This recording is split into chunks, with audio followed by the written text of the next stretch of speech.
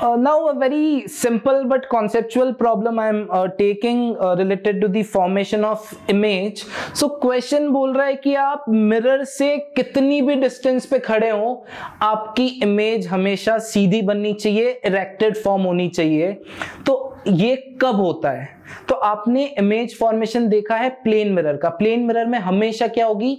Erected image form होगी। Convex mirror में क्या होगा? हमेशा इरेक्टेड इमेज फॉर्म होगी। लेकिन कॉन्केव मिरर में क्या होती है? इन्वर्टेड एंड कॉन्केव के अंदर सिर्फ़ एक केस होता है जब इरेक्टेड इमेज फॉर्म होती है और वो केस कौन सा होता है? जब आपका ऑब्जेक्ट पोल और फोकस के बीच में रखा होता है, तब इमेज क्या बनती है?